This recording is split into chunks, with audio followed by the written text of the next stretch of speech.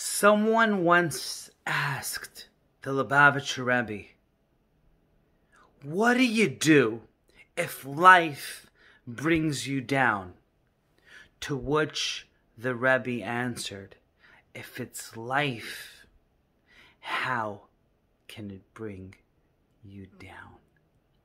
You see, guys, ladies and gentlemen, life doesn't have to change. You must change to live beautifully. You need to shift on your life to happiness, to shift on your life to success and blessings. Okay?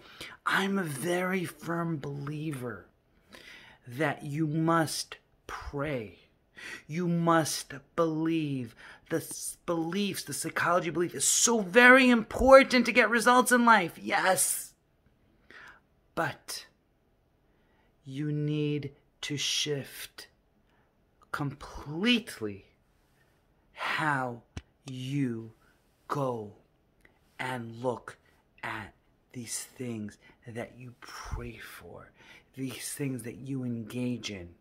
How would you act if you expect things to happen?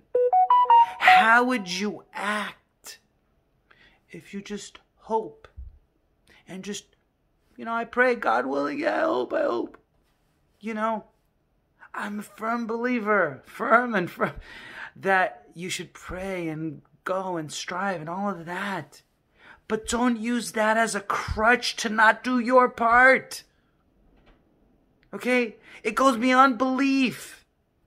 You have to become a kli, you have to become a vessel to accept goodness. If you do nothing, nothing will change.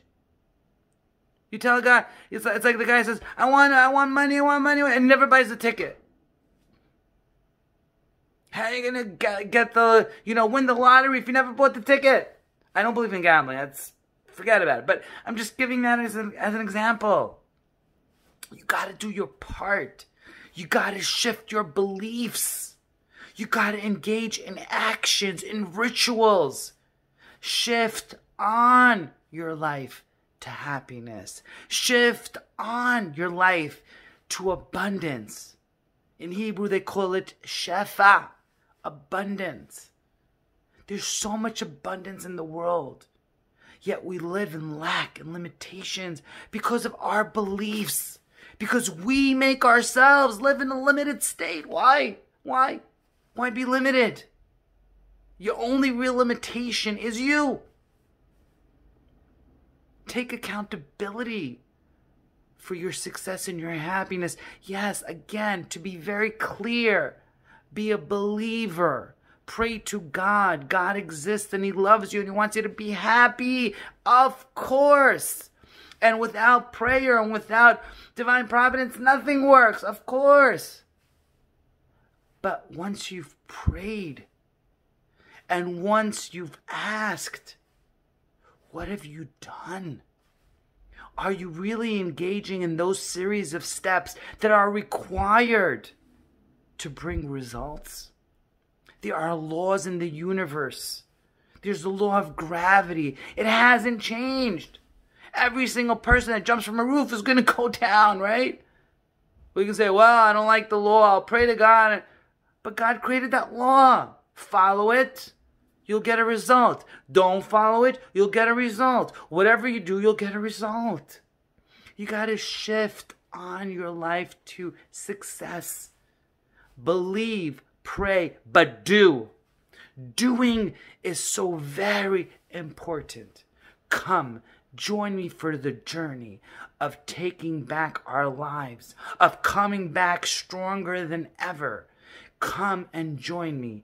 I'm going to be taking you alongside me to grow, to progress, to succeed, to live beautifully, to live happy. But guess what? It depends on you. And if you succeed and if you don't, guess whose whose fault, whose responsibility it is? You. Pray, but do. Shiftan Yisrael here.